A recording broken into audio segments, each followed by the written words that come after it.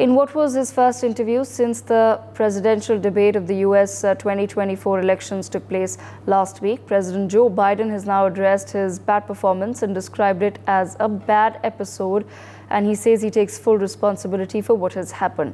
Biden has also revealed that he was feeling sick and added that he was feeling terrible. Joe Biden has been widely criticized by Democrats and Republicans alike for his poor performance in the debate. Joe Biden has long faced criticism over his age and fitness for office and has been subject to growing ire of the Republicans and Democrats for his poor debate performance. My colleague Brian Thomas with us on the broadcast. Brian, if you can take our viewers through the details of what Joe Biden really said in his first TV interview ever since the debate took place. And in fact, he's also now taken to social media and he's released a clip where he says that uh, he will not allow one bad debate to derail his campaign or to really wash over anything that he's done for America in the past three and a half years? Uh, well, Devika, President Joe Biden candidly reflected on his performance, describing it as a bad episode and assuming full responsibility for what transpired. Uh, you know, while speaking to the anchor also, George, uh, uh you know, Stephanopoulos uh, in Madison, uh, Wisconsin, after a rally with Democratic supporters, Biden reaffirmed his commitment to staying in the race.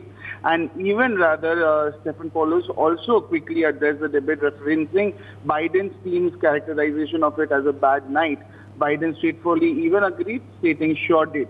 Now, yes, talking about the discussion, uh, it then shifted to comments made by former House Speaker Nancy Pelosi, who questioned whether the debate indicated a more serious underlying issue, for which Biden then respond, uh, responded that it was a bad episode and no indication of any serious condition. He was exhausted and he didn't listen to any of the instincts in terms of preparing and it was a bad night. And even Stephanopoulos also asked Biden's preparation, noting that it followed an international trip to France for the D-Day anniversary and even subsequent rest at uh, Camp David. And even Biden also rather explained that since he was sick, he was uh, feeling terrible and he revealed that medical tests has also ruled out COVID-19 but confirmed that he had been battling a severe cold.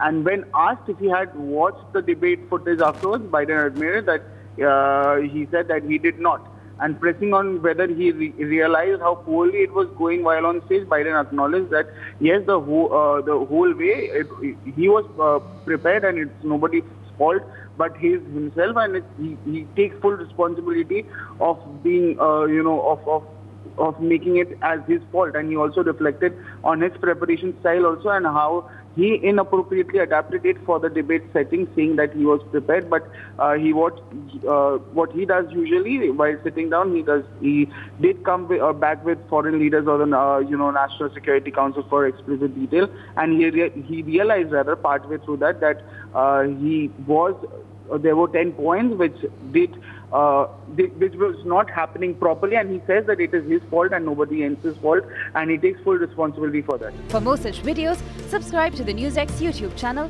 hit the bell icon.